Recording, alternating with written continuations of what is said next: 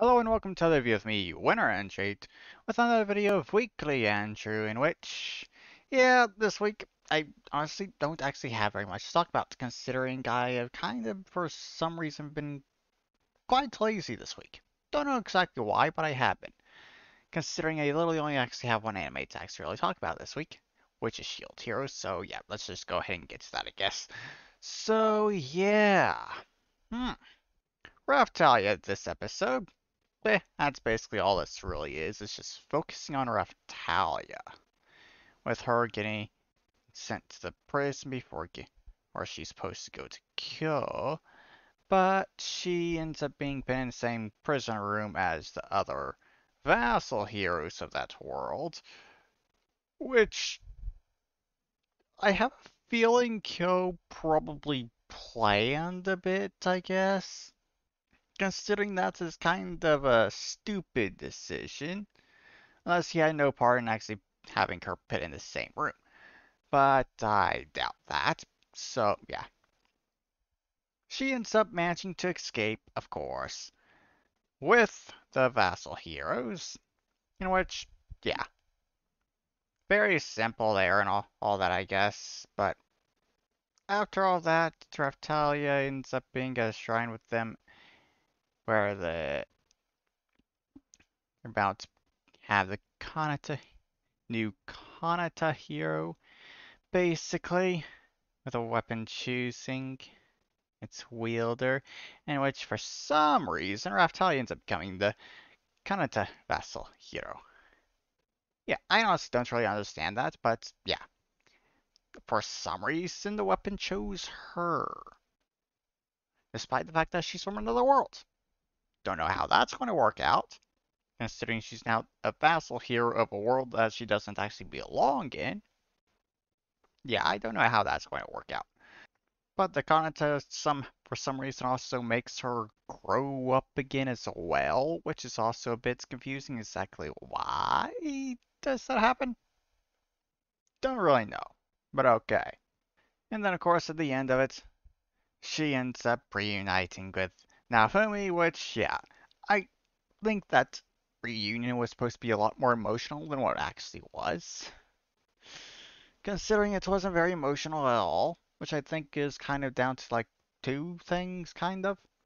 The fact that time that they were separated was very short. Okay. Seriously, they were only separated for a single episode. That's it. I guess two if you kind of count the majority of this one. So, kind of two full episodes that they were separated. That's it. Not very long. And also the fact that I kind of have a feeling that a decent bit of the story here is kind of being rushed. I'm not exactly sure, but I kind of have a feeling that's going on. So, yeah. Kind of another reason, I guess, that it wasn't very emotional, I feel like.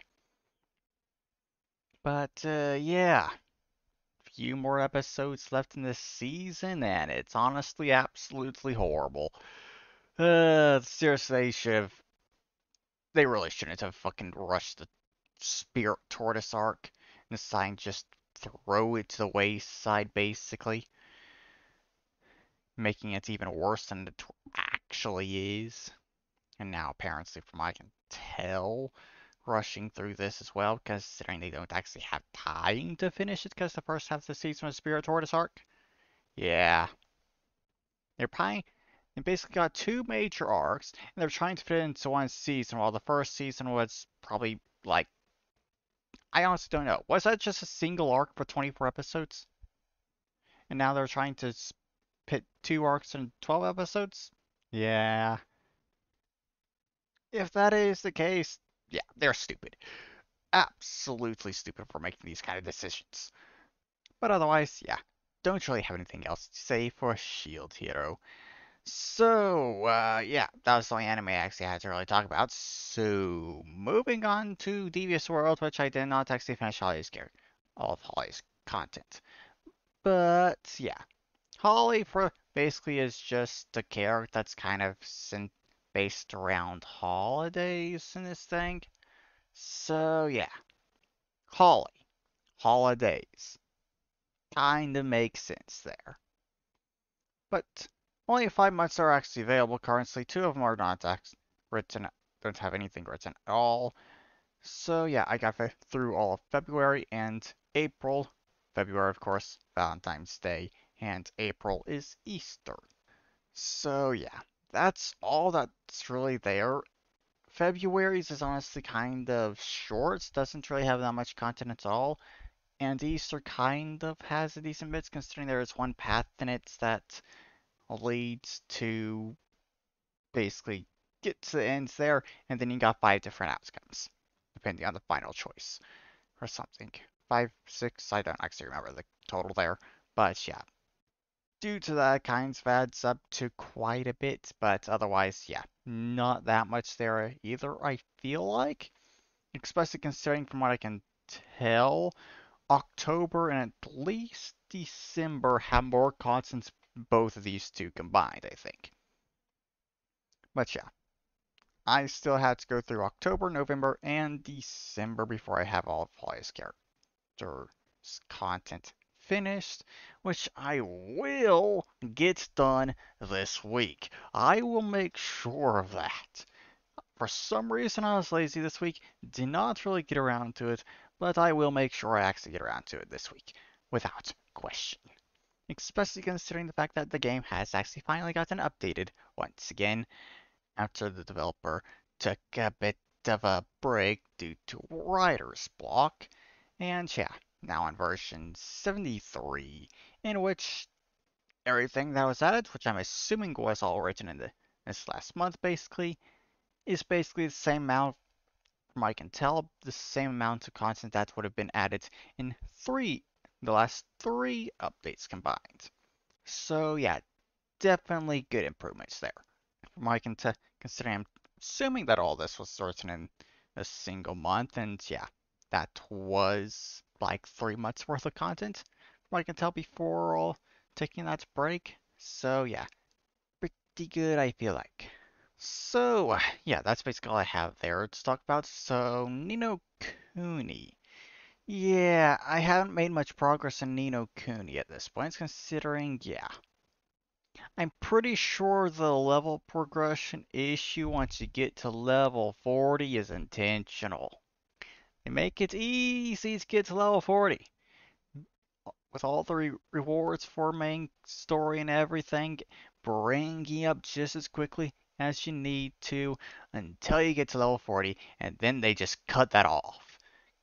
And you have to do tons of grinding if you want to continue leveling up. Or, of course, spend money, which I'm a free-to-play player, so nope. So yeah, um, still doing tons of grinding the game, but now instead of just for soul stones, it's kind of more for experience, so I can level up. So yeah, for the most part, I've gotten through all the, the story that's in the Allegra Plateau, which for the most part, it's only really actually had three channels on the server that I'm on, and only in the last day basically has gotten a fourth channel because more people there. So I'm definitely up there, I feel like, when it comes to story progression consider compared to most of the players on the server that I'm on. So, uh, yeah. At this, I've only actually done one stream this week, playing, Ni no Kuni and everything. Um, yeah. Got all that, did all that story progression there, and also kind of created my own kingdom before that stream, and gotten most of that stuff done there, kind of. And just need to level darn thing up so I can actually really do things there. But I'm basically all by myself, so yeah. I think I'm probably going to actually have to try and do some recruitment if I want people to join, considering otherwise I don't think people will ever actually... Otherwise, I don't think people ever really to even find my kingdom, so yeah. I don't really know about that, but whatever.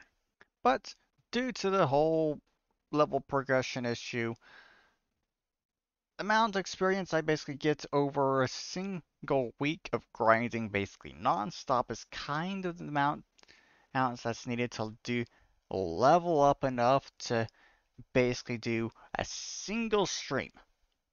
So, yeah, I think at this rate I should be able to do one stream of Ni no Kuni every week. And that's it. Just keep that up until I'm done with it, I guess. So, yeah. I really hate this, considering I don't want to do any of the story off camera. I want to do it all on stream, so I kind of have stuff that I can do right now, but I don't want to do it because I'm not going to be streaming it. And I want to stream it, which is very annoying. But besides all the nonsense with Ni no Kuni, I guess, I, yeah, I've just been lazy this week. Haven't really gotten around to doing anything, and I honestly kind of already at the end of this episode here. Just a few things left to mention, I guess, considering, yeah, I know I'm going to have more to talk about next week. That's for sure, considering one thing for I know absolutely certain is fact that we'll be talking about Sentence of the Book. Course, I'm considering, well, final episode airing Monday. Because it only has 10 episodes. Which is honestly a bit annoying considering the season 6 has been pretty good. Eh, yeah. And also, Opie Odyssey has gotten an update this week, so I also have that to play, along with all the other updates for other games that I still, for some reason, have not actually gotten around to doing. It's just I'm being way too lazy lately. I need to get around to doing this stuff. Yeah. And I definitely need to get done. Finish all of Holly's content in Devious Worlds so I can move on. Hopefully, if I, I'll also get myself around to doing the stuff in the that was added in the update as well. So I can get that stuff done and kind of just try and quickly finish off everything in Devious World, I think. Considering I'm pretty sure the adult characters on there, uh, like three adult characters that's left for me to do, don't actually have tons of content. And Holly may even actually have more. I'm not exactly sure, to be honest. But then there's only one middle-aged one left to do as well. So four characters after I finish Holly, and I am done with Devious World and only have up future updates to play. So yeah, at that point I guess I can start working on Devious Mundanity, which is the other game that he's or she's working on, I guess. Um, so, yeah. And Devious Mundanity is one that has a giant Ruby parody in it. That will take me forever to ever actually finish reading, considering how long it is. Considering I was skimming through that once, and oh boy. I'm pretty sure I spent over an hour just skimming through that as quickly as I possibly could and cannot get to an ending. Yeah. I have no idea how long it's going to take me to read that once I get around to it. Uh, God. And to be honest, things like Devious World here, other games here, kind of reason why I haven't actually gotten around to going back to reading Spice Wolf, I guess. Because I still haven't actually done that, despite the fact that I really do want to. God. I need to get things turned around, I tell you. but yeah, I guess that will be the end of this video, so yeah. So far I've been recording for, for 15 minutes, so it's probably going to be more 12, 13 minutes, I guess. I'm not exactly sure. Considering I do cut stuff out a little bit due to like errors and just me not talking for a moment while I kind of read over notes, make sure I have some know what the next thing I want to talk about is. So yeah. I guess that's the end of this video, so I hope you've all enjoyed it, and I'll see you all in the next one. Uh, bye bye.